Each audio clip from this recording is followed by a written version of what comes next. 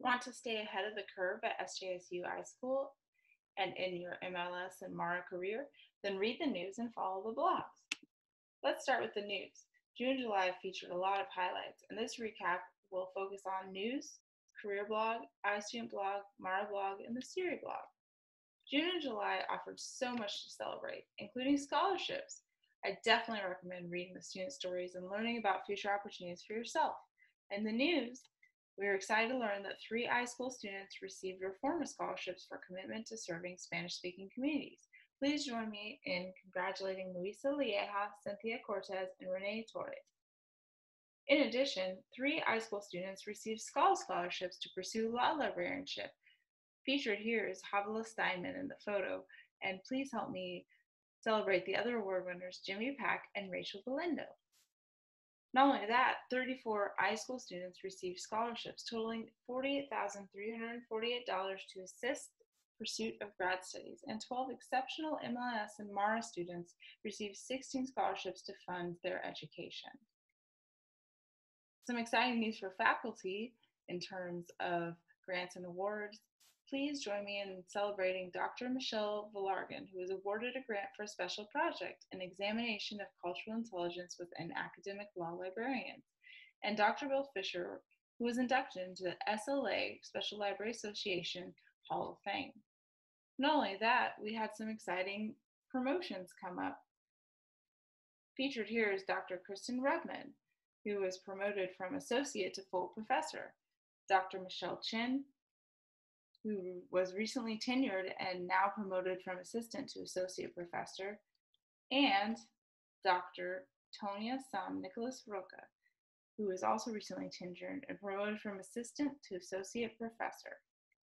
A few other choice highlights the new SJSU MLS and Informatics program was awarded a $50,000 grant for innovation, and SRJ, or the Student Research Journal, an open access journal dedicated to LIS research, and SJSU's only double blind peer reviewed graduate student run journal, just released their 17th issue. It's a must read.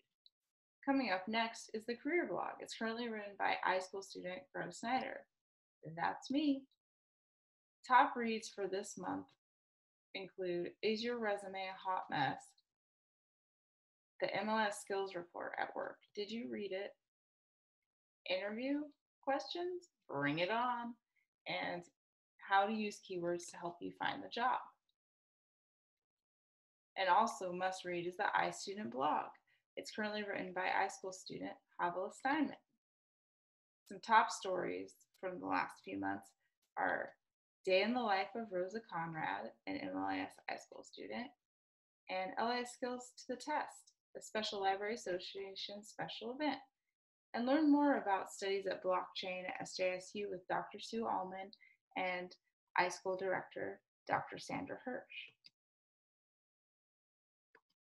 The MARA blog is run by MARA Program Coordinator Professor Patricia Franks and features many posts by students. Some highlights from the last few months are getting to know the MARA student assistant, Kenna Walker, learning about the Australian National Archives, They're at Risk, and MySpace and the Internet Archive. And finally, don't miss CIRI blog. CIRI is the Center for Information Research and Innovation at SJSU and focuses on fostering LIS research to benefit a global audience and is currently run by CIRI coordinator Dr. Lili Luo.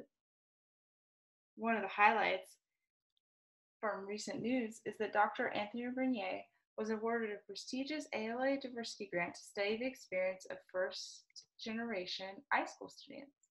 Find out more about the results and future directions of his innovative research. And finally, thank you. Thank you for watching. Look forward to an August recap.